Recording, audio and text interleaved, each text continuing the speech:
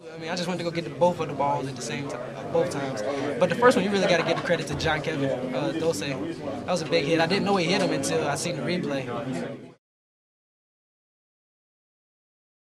I mean, obviously it's a it's a blow because once the head died, the body died, and uh, you know they're really scrambling to find a guy after that, and uh, the confidence really goes down with the players too once your quarterback goes down. And, Right, um, yeah. It's harder for the, the offense, I think, to adjust to their starting quarterback going down than it is for a defense to adjust.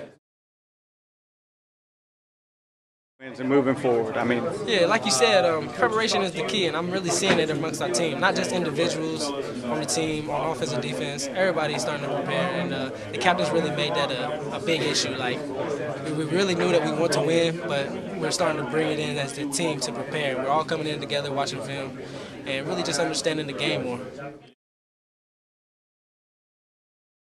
Obviously, any win on national TV is a program building, but but um, it's good for our confidence, and uh, we're ready ready to keep working and see see if we can keep on getting the same results.